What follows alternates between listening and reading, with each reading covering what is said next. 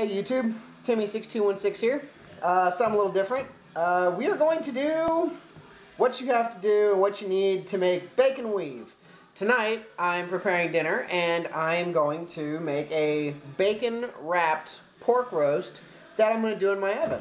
So first things first, I have found the best way to go about this is use a good quality, Hormel makes good stuff, thick cut bacon to make this the easiest I possibly can. Uh, just in case you guys are wondering, I have in fact already washed my hands. All my surfaces are clean and sanitary.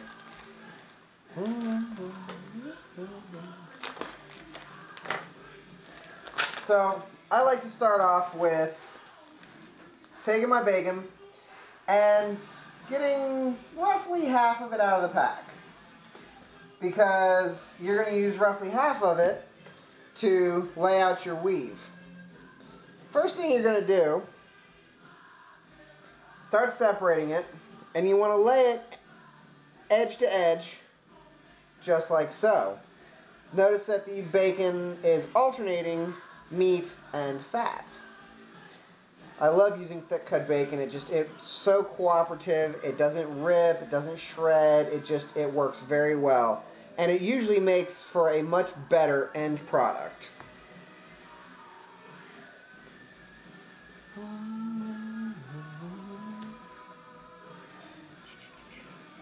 Alright, so we got two, four, six, seven. Here we have one, two, three, four, five, six, seven, eight. So we are going to go ahead and lay down one more strip. Now, you have to kind of guess when it comes to sizing because you don't want too much extra hanging off on either side.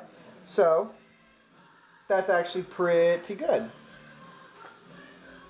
Now, you're then going to take and you're going to pick whatever alternating pattern you would like. So, you're going to go half, skip, half, skip, half, skip, half, skip, leaving an alternating pattern like such.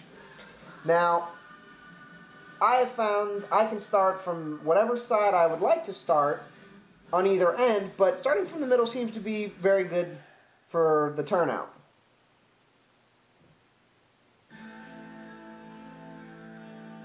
Then next, you're going to grab your alternating side that you didn't pick up. Get yourself another beautiful, glorious piece of bacon. Oh, that's two pieces. Lay that down. And then again, you're going to flip those over. As you can see, it's starting to look like a weave. I'm probably going to edit out from here until I am further along. Bacon weave. Lovely. You've got a couple extra pieces. Now, if you choose to lay the meat across lengthwise and roll it up, I would advise taking these and putting them on either end. If you're going to roll it diagonally, which makes for a very aesthetically pleasing bacon weave, I'm going to advise that the bacon be laid across diagonally as such. Now, we have our bacon weave. It's beautiful. One pound of thick cut bacon.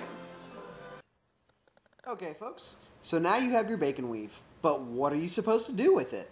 I personally am going to put in my pork roast, as I said, but I also have done assorted other things. I've done chicken, I've done beef, um, I've done sausage, and some of the best was the chicken, I just have to point out. Uh, you can wrap whatever you want in it. It is a fantastic way to add a lot of flavor to your food.